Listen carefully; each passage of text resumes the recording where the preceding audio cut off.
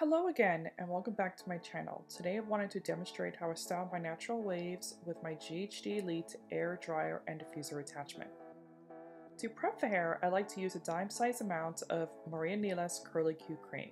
This product is amazing as it has a 3 out of 5 hold, which equates to a medium hold with heat protection.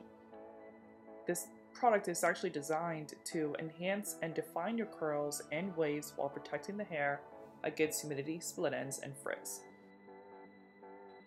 If you've seen any of my other videos I've made, you'll see that I've mentioned how our product's 100% organic, vegan, cruelty-free, paraben and sulfate-free with packaging that's CO2 friendly. Not to mention the fact that her products smell absolutely heavenly.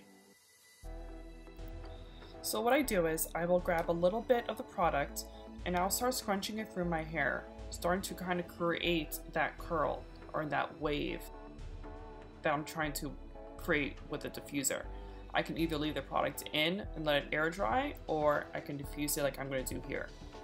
An important note though, before the diffusing process even begins, it is imperative that all excess moisture is wrung out of the hair first. Otherwise you'll be drying your curls for 10 years and you'll only end up with a dry frizzy mess on your hands that looks worse than bedhead.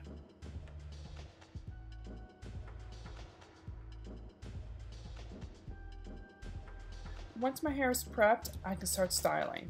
A quick note though, unlike when we style our hair straight and smooth with high heat, it's imperative we diffuse with medium to low heat to alleviate frizz and dryness to the hair. Though there are various types of diffusers out there, all perform various different tasks. This one happens to not only be my favorite because it accompanies my favorite dryer, it also has a unique shape to it that it allows it to be fully vented with teeth that protrude a little bit further out and have tiny little vents on them to allow for more concentrated airflow, which helps define my curls and waves.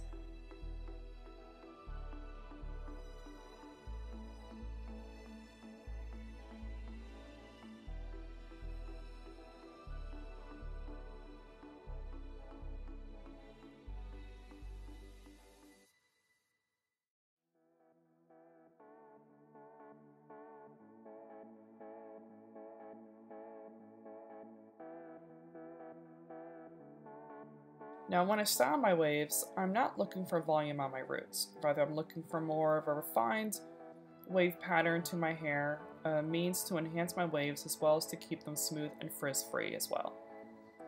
I have really thick, coarse hair, so it gets its volume on its own. To attain volume though with the root, simply toss your head upside down and place the diffuser on or near the root as you scrunch your hair with, with the diffuser.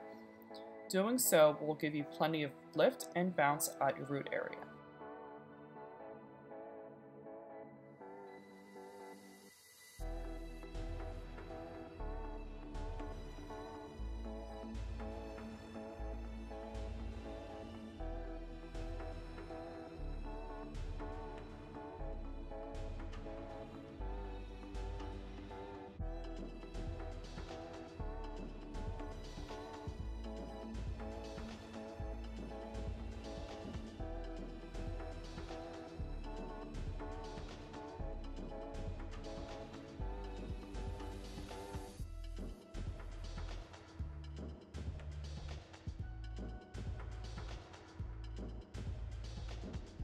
To finish my style, I like to add a little bit more texture to my waves, essentially giving them a refined, messy look by adding a dime-sized amount of the salty cream from Maria Nila.